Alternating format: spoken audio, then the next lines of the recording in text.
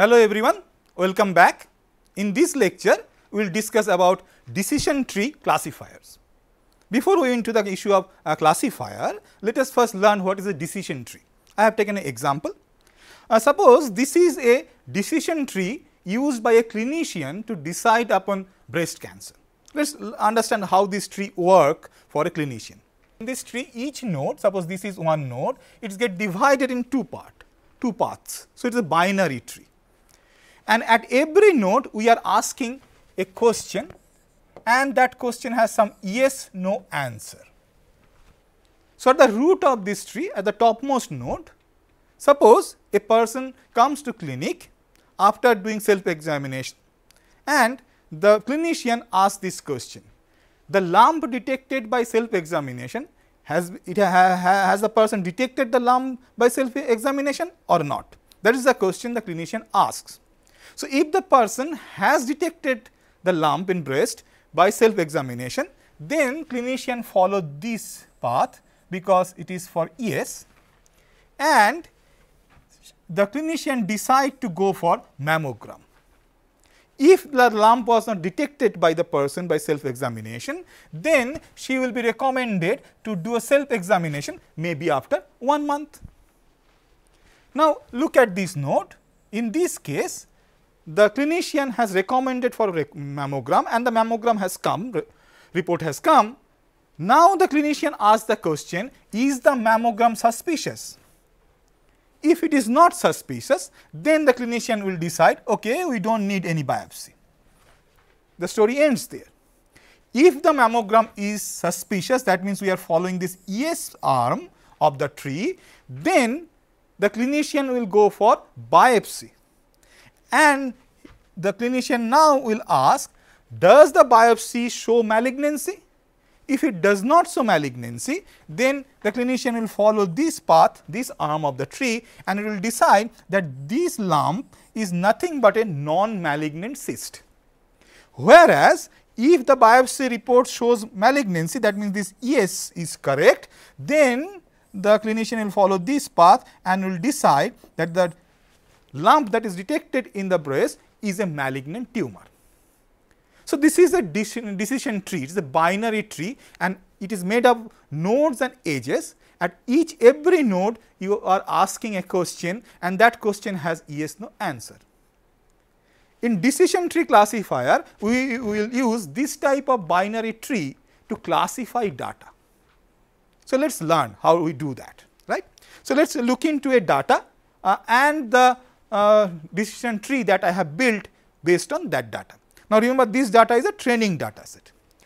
So, here is my uh, decision tree that I have built using these training data.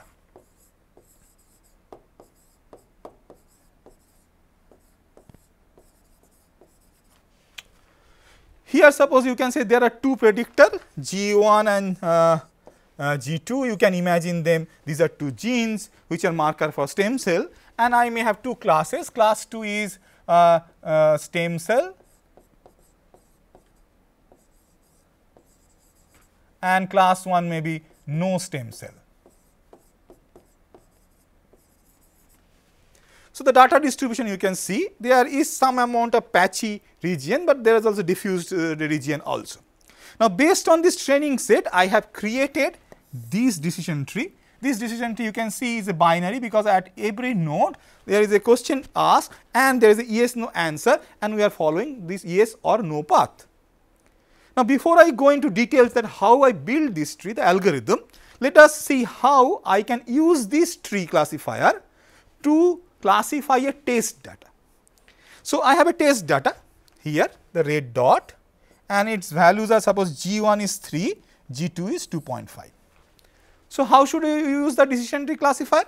I will take this data at the initial node, the root. So, I have taken there. Now, I am I will check the first node, the first question. What is the first question? Is G2 less equal to 3? Okay. G2 is 2.5. So, it is less equal to 3. So, I will follow this yes path. I have marked that by red. Now, I am in this node, the pink colored one. A new question is asked in this node, is G, G1 less equal to 4? Okay, let me check G1. G1 is 3, so that means it is less equal to 4. So, again yes, so I will follow this yes path, again I marked it by red. So, I land up in a node which tells that this node tells me that this test data point is class 1. So, this is class 1. So, I have classified the test data. In this way, you can take hundreds of test data and classify them. Now, I will move into how actually I build this uh, uh, decision tree classifier, but before that uh, some technical terms let us uh, get acquainted with. The topmost uh, node is called the root, whereas the lowest one where already we have made the decision about the class will be called uh, terminal nodes and leaves. And you can see from this terminal node there is no more arrows, right? There is no more arrows because we are not asking any question there.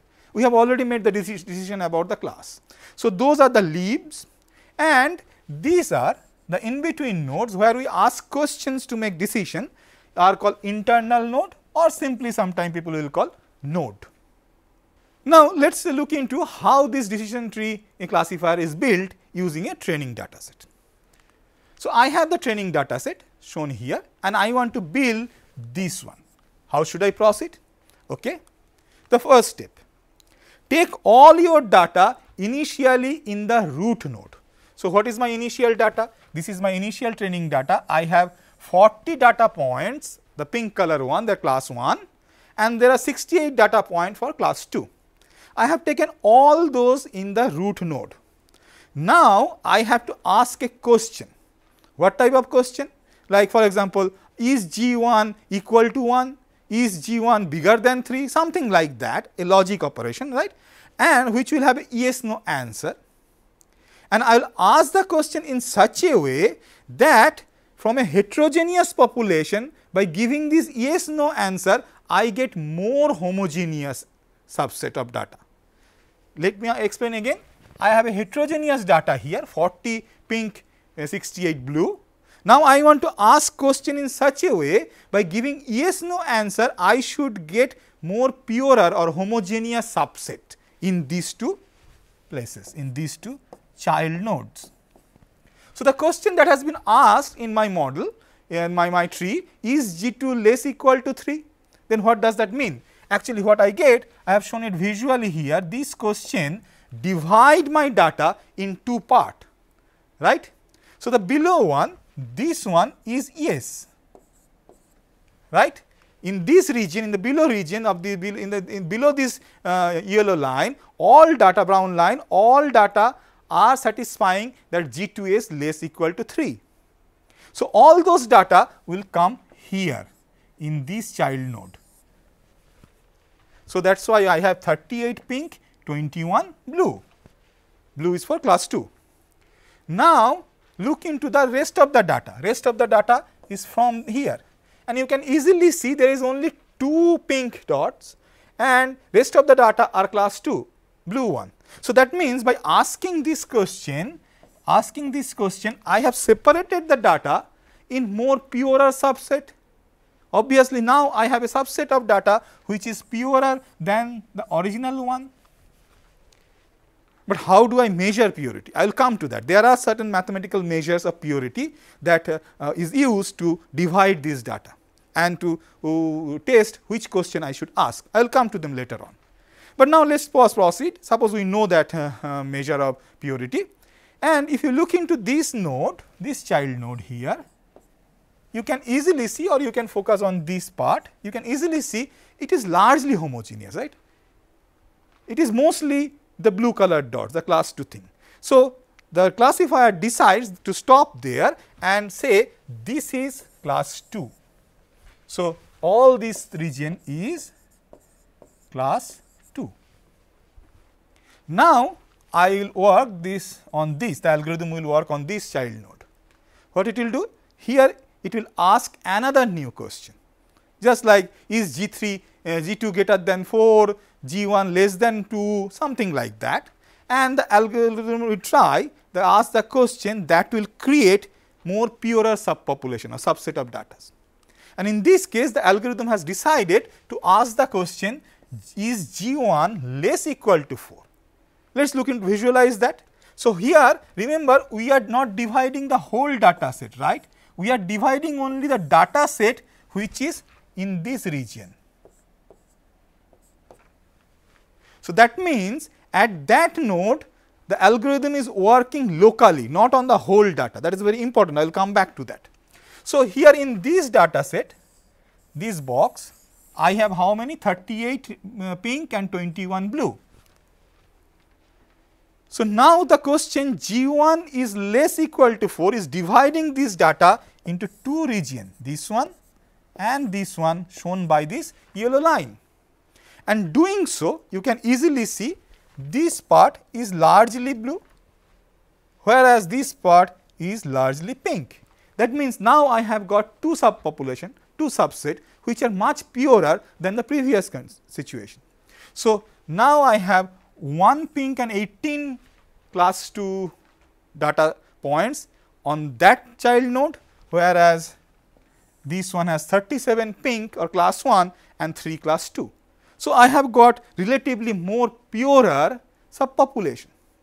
And as they are largely pure the algorithm decides to stop here stop here and call these as class 2 these as class 1 that means this is class 2 this is class 1 this one earlier it has decided this is class 2 we are done there is no more uh, data left to classify. We have reached the uh, leaves right or the terminal nodes. So, the classifier stops there. Now, you can use a test data to classify the test data.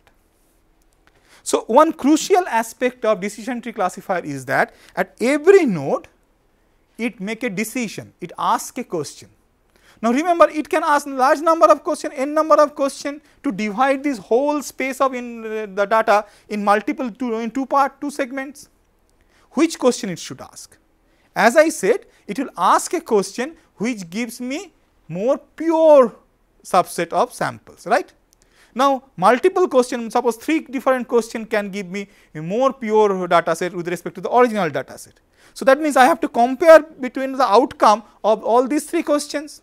So, I need some measure, some measure for purity of data in a particular segment, particular subset, particular region. And there are two uh, uh such measure that I will discuss in this lecture. One is very common, is called Gini index.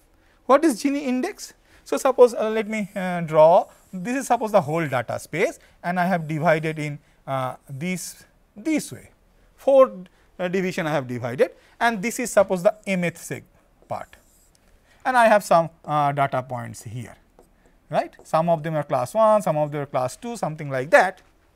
So, fmj fmj is a fraction of observation of class j suppose we have two class so class 1 or class 2 j is 1 or 2 in this mth segment in this mth region right. So, that is the fraction of the data whole data which is present in M segment and uh, belong to the class J. So, it is FMJ. So, Gini index for this segment Gini index of M is equal to FMJ into 1 minus FMJ and it is sum over all the classes that is why J equal to 1 to K suppose I have K classes. In the previous example I had 2 classes so it will be K will be equal to 2. Now, let us see uh, what is the Gini index for our uh, classification, uh, classification tree. Before I go there, let me show some numerical way the properties of this Gini index. So, what I have done here, suppose I have again uh, this one, let me draw, uh, I have 4 segment, this is the mth segment and there suppose class 1, there is no class 1 data point, all the data point are class 2. So, the fraction f for class 2 is 1 and if you calculate the Gini index for this it will be 0. So, here. So, that means in this segment in this region of the data we have pure class 2. Whereas, if all the data point there is of class 1 there is not a single class 2 data point then also Gini index will be 0. So, that is pure class 1. Let us see in between.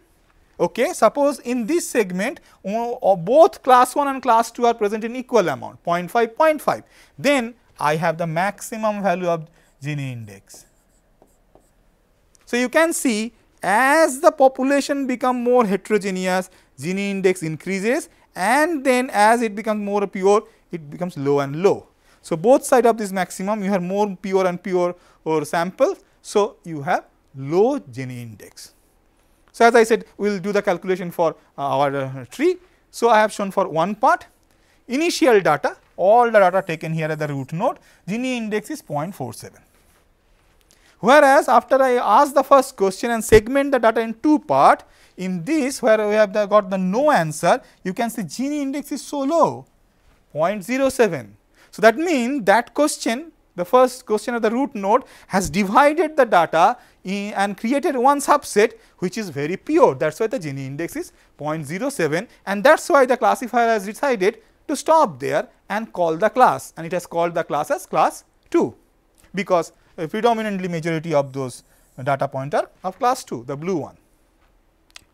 Now, there is another uh, similar uh, parameter which is used to measure purity of data set that is called entropy. And again the same way fmj is the fraction of observation of class j in the mth region the same definition. The only thing is the formula is changed. So, the entropy entropy of that mth region you have divided in multiple region the data set is equal to summation of fmj log fmj I have taken the base as 2. So, the entropy will be unit will be bit. And if you look into the behavior of entropy, right, it also has this behavior. When I have pure population, I have entropy 0, least entropy. As the population becomes more heterogeneous mixed type, the entropy increases and peaks at 0.5 when both the population of class 1 and class 2 are in equal amount. So, it is also behaving just like the Gini index. So, now here I have shown the uh, calculation for entropy in case of our first splitting. So, here entropy is very high because at the root node we have taken the hetero whole heterogeneous population data and in the class 2 which I have got by this no answer has a lower entropy 0.24. Now, let me remind you that what is happening at each node for example, this is a decision node though it is a root node here again is this a decision node in this decision node we are asking a question right to get a purer uh, to you know to pure get uh, purer subsets of data. Now, as I said earlier I can ask n number of questions. So, that means I have to compare between the outcome of multiple questions. To compare these outcomes what usually we use is called information gain. Let me explain it. So, in this case we have asked the question whether G2 whether G2 is less equal to 3 or not. So, I will check what is the information gain by this question. Okay, the formula of information gain is you take the entropy of the parent node. What is the parent node here? This one is the parent node and these are the child node. You have two childs, it is a binary tree. So, entropy of the parent node minus entropy of the first child node minus entropy of the second child node, but you do not take the raw value of the entropies of child nodes, you multiply them with some weights, right. These are the weights. What are the weights? For the child node 1, you take the ratio of fraction of data point in that node in this child node divided by total number of data points. Similarly, you multiply the entropy of the second child node with the fraction of the number of data point in that child node divided by total number of data points. So, let me do the calculation. So, what we have? We have uh, rather than taking fraction what I have done here I have taken the original number. That does not make any change in calculation. Only the numerical values are different. So, my parent node's entropy is 0.95 here it is written. The entropy of one child node is 0.94 the other one is 0.24 and I have multiplied by this weight and the weight here. For the second one weight is 49 divided by 108 because I have 49 number data points here 47 plus 2 is 49 and here I have 108 data point originally. So, this weight is nothing but the 49 divided by 108 similarly this weight is 59 divided by 108. So, it is simple you are just uh, multiplying with the relative weight of each of these child node depending upon how many data points are there in these two segments. So, now uh, do the calculation you will get 0.33. So, now suppose you ask another question in place of this G 2 less equal to 3 you ask a alternate question suppose you say okay uh, G 2 is bigger than 4 then you do the same calculation again and check out what is the information gain.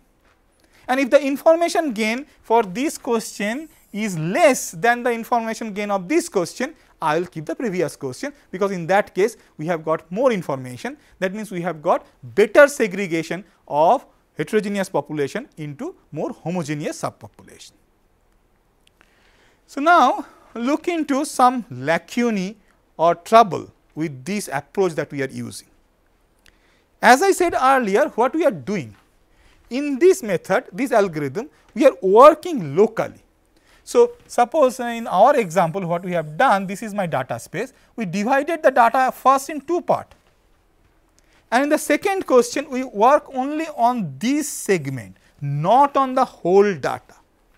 So, essentially the algorithm is deciding locally on the one segment of the data and it is not deciding the fate based on the whole data throughout the algorithm, throughout the process, throughout the steps.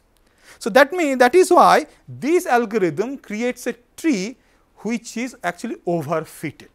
So, as you remember we have discussed the problem of overfitting earlier also. So, it has a low bias that means it fits very well with the training data set that you have given. So, it has a low bias whereas it will as it is low bias and overfitted it will have high variance. That means, if I have a completely new test set right it may not predict it properly in that case for those test samples. So, it will have uh, less predictive capability. So, it has high variance. Now, this is not a unique problem for our uh, decision tree classifier. This problem is there in most of the machine learning algorithms and there are ways to reduce this problem. For example, in case of decision tree classifier, we usually use two approach. One is called uh, boosting, another one is called bagging. Bagging is nothing but bootstrap aggregating. So, you will first bootstrap and then you will aggregate the data. And one of the example, one of the algorithm uh, which use bagging in decision tree classifier is random forest and I will briefly discuss that. The principle of drawing the tree will be same, but we will change it a bit uh, how we build the tree. So, what you do here, suppose this whole square is a whole data set. So, the first step is bootstrapping. In bootstrapping, you do not take the whole training data set to train your machine learning algorithm. You do not do that. What you do? You divide this data into multiple training data set. So, from one large training data set, you create some subsets and you create those subsets by uh, sampling with replacement right. So, that is what I have shown here D1, D2, D3, D4 these are the subsets of the training data set. Now, you take one of those subset data and create a decision tree. Now, when you are creating this decision tree again you are not taking all the predictors. Suppose in your training data set there are 10 predictors or 10 uh, independent variable on which the dependent variable or the response variable depends right. So, x1, x2, x3 something like that up to x10. So, when you are building this first tree you will not take all the predictor information for that data D1, you will select a part of them suppose uh, two third of those predictors right. Similarly, you now take uh, data subset 2 and create the tree 2. Now, again you do not take all the predictor, you take a subset of those predictors. So, in this way I have shown 5 trees, you can make hundreds of such trees and every case you are choosing uh, you know jumbling up the which pa parameters or which predictor you will choose to build this uh, tree. So, in this way what you have done okay maybe you have uh, 20 or 30 predictor in your whole data, but none of these tree use all those predictor together. So, in technical term these trees are generated from bootstrap data because you have to use a uh, subs, uh, subset of your data as well as they are decorrelated because you have not used all the predictor, you have used m number of predictor out of this total number of p the total number of predictor that you have used. So, this is how you create the forest, forest of decision tree. So, now you have to use this forest to classify a test data. So, that is where the aggregation part come of bagging right. So, you have a test uh, data unknown sample you do not know the class of that. So, you feed that to each of this tree and each of these tree will classify the data. So, suppose it say the tree 1 has said it is class 1 the tree 2 has said it is class 2, tree 3 has said it is class 2, 4 has said also class 2, 5 has also said class 2. Now, you will aggregate these decisions made by these multiple decision tree and you will use the principle of majority vote to decide the class of the test data. In this example, five, out of 5 these trees, 4 have said these data belong to class 2 whereas one tree has said it belongs to class 1 that is minority. So, I will say my test data belong to class 2. So, that is how we build a random forest and we use it to classify our data. That is all for uh, this lecture. Let me uh, jot down uh, what we have learned in this lecture we have learned about you know decision trees which are, are used for classification and these trees are binary tree. What we are doing here, we are in this uh, tree at every decision node we are dividing the data, we are splitting it to subset to create some purer subsets. Now, when I say purer subset, I need some measure of purity, right. That is why we have uh, learned about two measures of purity, one is called Gini index, another one is called entropy. And at every decision node, I can ask multiple question and I have to choose which question suits best for my, uh, my tree. And so, these uh, questions and their outcomes are compared using what we call information gain and we have discussed that also. Then we have discussed that this decision tree works locally. So, it is a greedy algorithm and it usually becomes overfitted. So, we have to be very careful that decision tree classifier can be overfitted. So, they may have less predictive capability. To solve this problem there are method using boosting and uh, bagging. One of the bagging technique that we have learned is the random forest technique. That is all for this uh, lecture. See you in the next one.